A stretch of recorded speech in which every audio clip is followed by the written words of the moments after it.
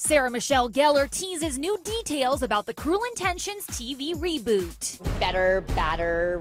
Can you say bitchier? Can you say that? Can you say that now? Remember back in 1999 when this saucy movie came out? Don't you get it? You're just a toy, Sebastian. A little toy I like to play with.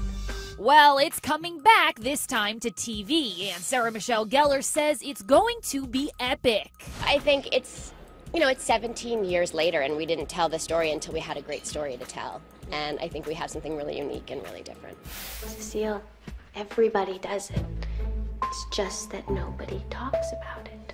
These days, when SMG isn't playing Kathryn Merteuil, she's running her company Foodstirs, which sells baking kits for kids. For me, my greatest inspiration has been my children. Ultimately, as a parent, you want to teach your children that they can accomplish anything. And when it comes to cooking together as a family, the actress says her hubby, Freddie Prinze Jr., leads the way. He's really the expert. I, I bring the experience and the sweet treat, but he's the, the he's the main man, real deal experience in the kitchen.